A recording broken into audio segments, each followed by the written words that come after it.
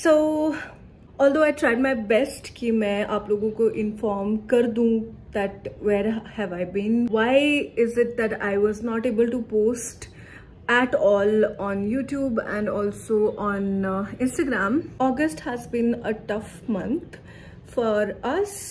today is second of September twenty twenty three and I am back in Chandigarh now as you can see from the background Was home for quite some time. Uh, basically, uh,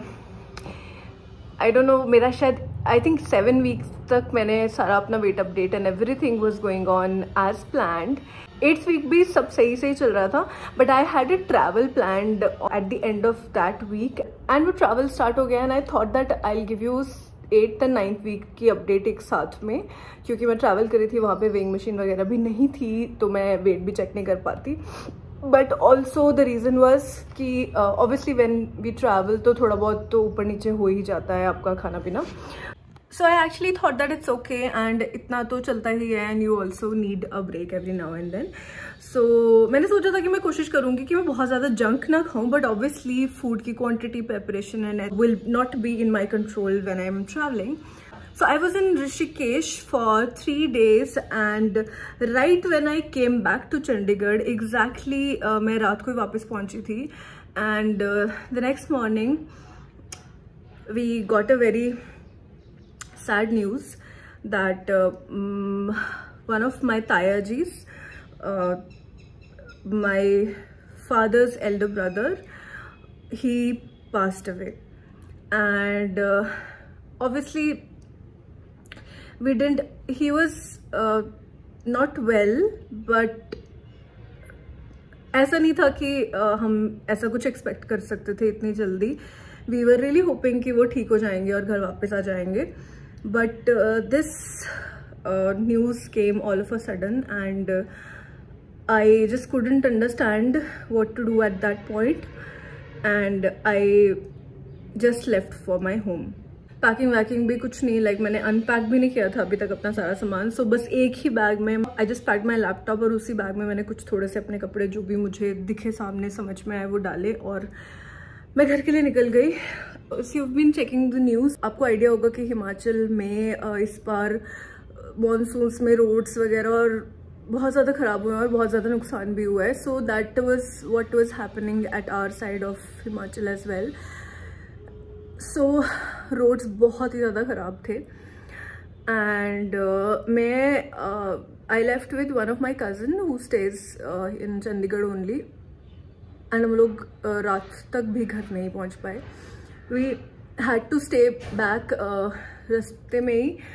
भैया के एक friend थे और हैं मतलब उनके घर पे हम लोगों ने स्टे किया रात को। And the next morning we left because वहाँ पे जेसीबी वगैरह लगती है तो फिर थोड़ा क्लियर हो जाता है रोड जाने के लिए. But it was very risky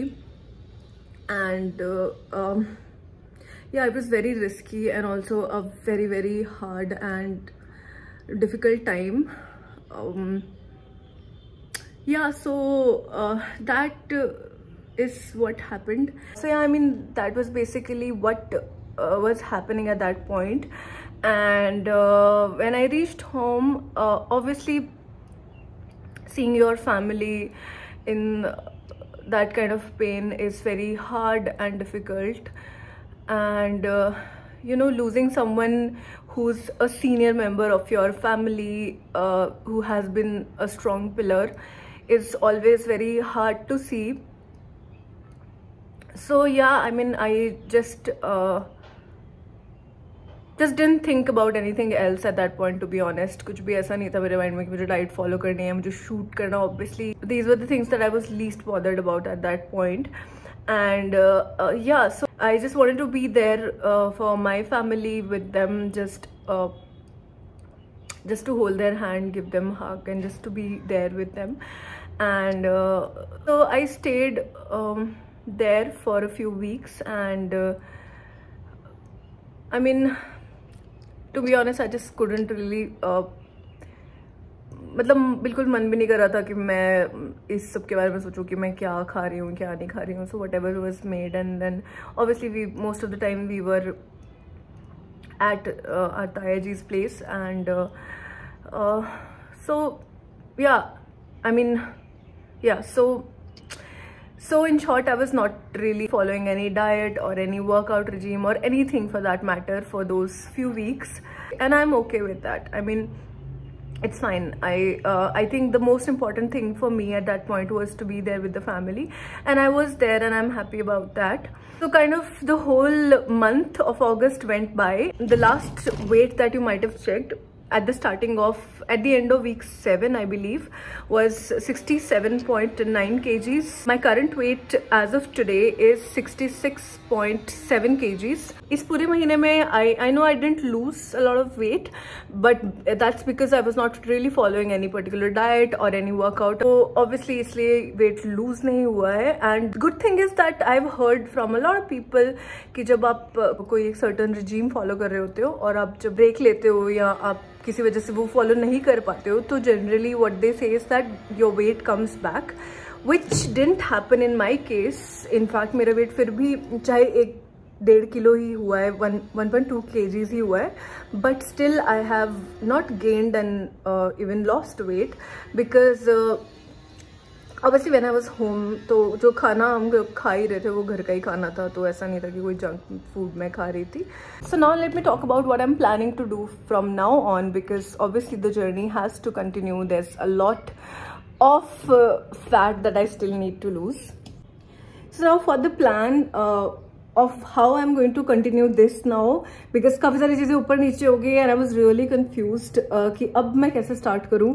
I think I film till day number fifty four and fifty four हाँ फिफ्टी फोर शायद डे फ़िल्म किया था मैंने तो आई वॉज़ कन्फ्यूज़ कि अब मैं क्या करूँ? बिकॉज़ एक महीना उसके बाद और हो गया तो क्या अब फिर से डे फिफ्टी फाइव पे जाऊँ, या how do I start and then I finally have decided that I'm not going to obviously obviously बहुत ज़्यादा बीच में gap पड़ गया है so it doesn't make sense to actually continue that and day 54 के आगे से start करूँ so I've decided that let's start fresh and do a different kind of challenge so what I'm planning to do now is to do a 21 days challenge which is going to be a three week challenge and इसमें again I'll be following pretty much uh, most of the things that I was doing earlier. I will be doing intermittent fasting for 16 hours. I will be uh, doing like 5-6 meals throughout the day, small meals, portion control. Uh, yeah, I mean last time also I decided that I'm going to be adding more protein into my diet but uh, uh somehow फिर भी वो उतना अच्छे से manage नहीं हो पा रहा था but uh, I will try 21 days में मैं अपनी जो diet है उसको protein rich रखूँ I'll try to add in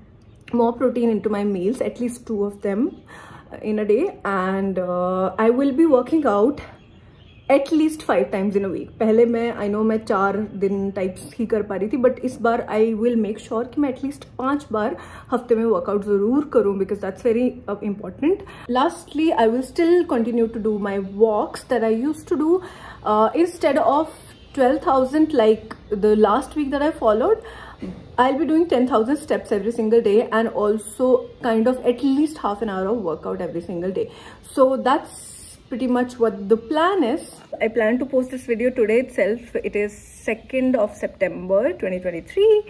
and uh, I plan to start my 21 days challenge from tomorrow which is a sunday. I also wanted to say one thing out here. I am not a dietitian nor am i a nutritionist. Also the diet that i have been following is been curated by me only. So many uh,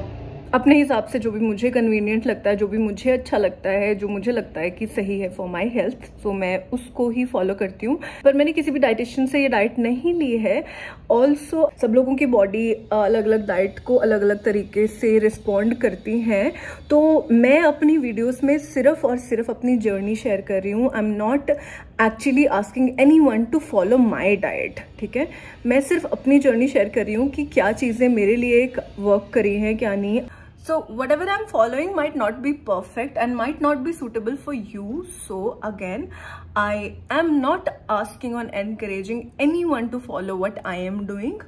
I'm just sharing what I am doing. This is my journey and I'm obviously sharing this with everyone because I I feel motivated and responsible to do all these things that way and this is working out for me. So that's all about what i wanted to update you all on. So let's start this 21 days weight loss challenge from tomorrow on. And i'll see you on my reels and shorts from tomorrow on. Bye